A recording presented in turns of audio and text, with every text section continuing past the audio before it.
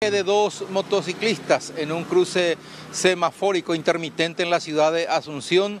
Uno de los motociclistas falleció en el mismo lugar. Estoy hablando de Rolando Gustavo Malosevich Fines, de 36 años de edad, que chocó con su motocicleta Honda contra otra motocicleta de la marca Kenton 200 modelo Dakar en, en las en el cruce entre España y Brasilia, donde el semáforo estaba intermitente. Hay que indicar que este cruce siempre es peligroso, un cruce semafórico, por cierto, pero después de la medianoche las luces intermitentes, aparentemente uno o, los dos conductores no tomaron la debida precaución para cruzar esta, estas avenidas y allí se produjo la colisión y el posterior fallecimiento, como dije, de Rolando eh, Malosevich de 36 años de edad.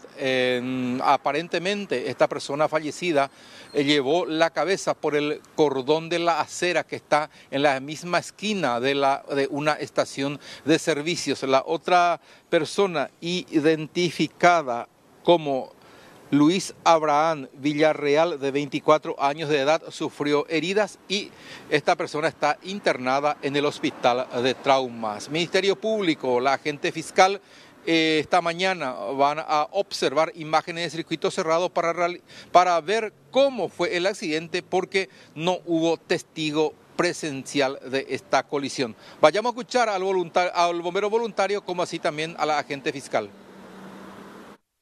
Una colisión de dos motocicletas.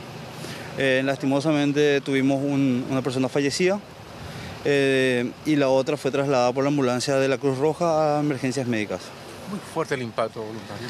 Y mira, la verdad que nosotros creemos que sí, que fue bastante fuerte, porque eh, lastimosamente el fallecido sufrió una herida de consideración ya prácticamente irreversible. ¿A la altura de dónde recibió la herida? En la cabeza. En la cabeza. El rostro y cabeza. ¿Usaba casco? La verdad que no podemos determinar eso porque al llegar ya encontramos su casco al lado del cuerpo eh, y no podríamos asegurarte eso. ¿El otro, eh, ¿El otro involucrado cómo está? El otro involucrado se fue con posibles fracturas en el miembro inferior y fue trasladado por la ambulancia de la Cruz Roja.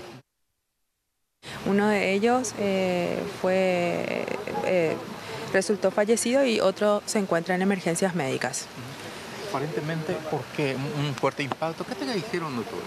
De momento estamos recabando todas las fotografías y vamos a, vamos a ver una pericia accidentológica al respecto. Vamos a ver también cámaras. Vamos a ver, no, no, estamos teniendo testigos, pero vamos a estar viendo eso también. No tenemos mayores informaciones todavía, pero eh, ambas motocicletas habrían habrían colisionado aparentemente, bueno, y tenemos una, uno de ellos por una muerte por traumatismo cráneoencefálico. Aparentemente llevó la cabeza por el cordón de la acera. Podría ser esa una hipótesis, aparentemente sí.